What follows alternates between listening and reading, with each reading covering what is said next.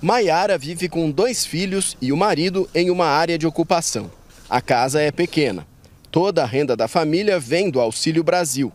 600 reais por mês, usados basicamente para comprar comida. No momento, esses 600 reais eu uso para comprar alimentos.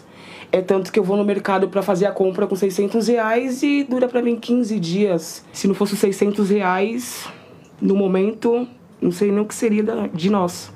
Receber uma parcela extra no fim do ano que vem deve ajudar a família. Me ajudaria com mais alimentos. Eu estou com os planos de pôr uma comporta porque eu passei por enchente, perdi todas as minhas coisas.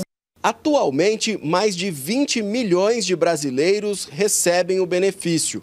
Mais de 80% são mulheres. A proposta do governo federal é que essa parcela extra, a partir de 2023, seja paga apenas às mulheres cadastradas no programa. O calendário de pagamento vai ser é, divulgado no, no, momento que nós fecharmos a folha, que, como eu falei, o cadastro único, ele está, além de um constante processo de modernização, ele é um cadastro que é dinâmico. Então, estamos é, na busca ativa né, pelas famílias brasileiras que ainda se encontram é, fora da cobertura Auxílio Brasil. As mulheres, elas são grande maioria das beneficiárias do Auxílio Brasil. Então, as mulheres que têm ali a sua essa atribuição de estar provendo ali o sustento né, e protegendo o seio familiar, então a, o fortalecimento dos vínculos familiares é também um dos pilares do Auxílio Brasil.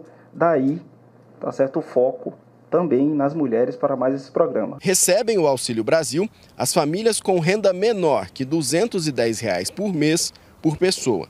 Para ter direito ao benefício, é preciso fazer um registro no Cadastro Único, por meio do aplicativo de celular ou no site. Uma das principais funções do governo é diminuir as desigualdades, é tirar daqueles que têm mais e entregar para aqueles que têm menos promover o crescimento dos mais pobres. Uma das formas mais objetivas, diretas e eficientes de ajudar a camada mais pobre da população é dar um recurso diretamente para essas pessoas.